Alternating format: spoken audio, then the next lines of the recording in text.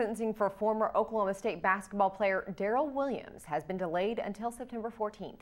Williams was convicted last month on two counts of rape by instrumentation and one count of sexual battery. The jury recommended one year of imprisonment for each count. The courthouse was packed 20 minutes before the hearing.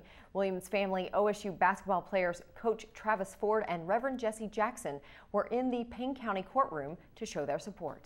The good news today is the fairness of the judge.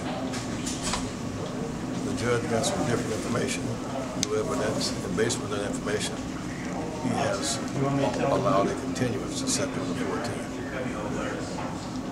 Darrell continues to declare his innocence, and apparently information should have been part of the trial, not of the trial.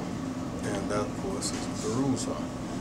So we're convinced that the judge followed the rules uh, of fairness uh, and transparency.